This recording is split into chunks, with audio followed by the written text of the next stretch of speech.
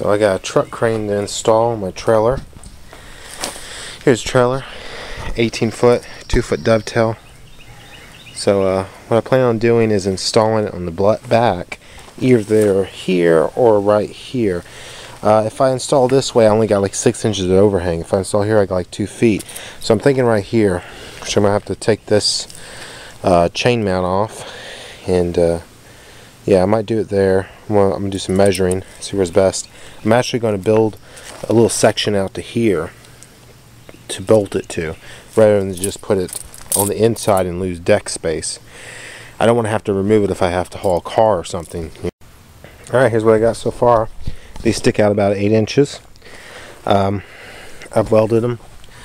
As you can see, I've already knocked the slag off of the welds. Pretty good welds. And uh, on the inside and outside.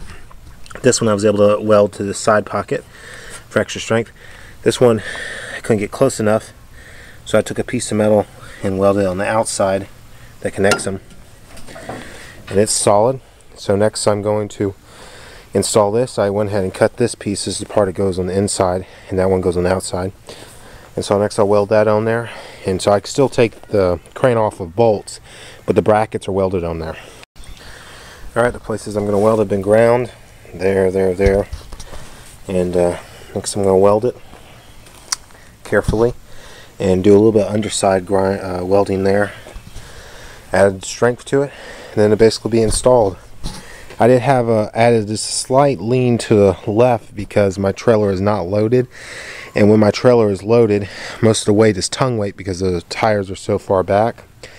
And so I figured they would level it out a little bit once I get a couple logs in it. Next I'm going to add this thingamajig. So a jack, it's a screw style jack. And uh, there's a bracket for you gotta weld that on.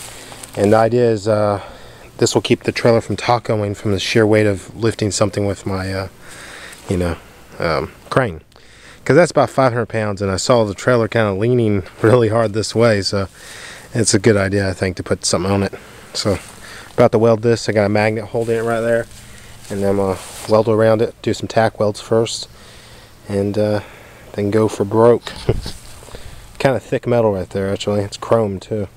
I'd like to show my weld. Not all that bad. Yeah, went all the way around it and on the inside a little bit. And uh, that's good. Ready to paint that. Perfect. I think uh, only thing next for me to do is to uh, clean up the welds with a wire brush and uh, paint them. Perfect. So good. Basically finished. We get a after shot in a sec. There's just showing the capability of that crane. It's probably a good six, seven hundred pound lawnmower.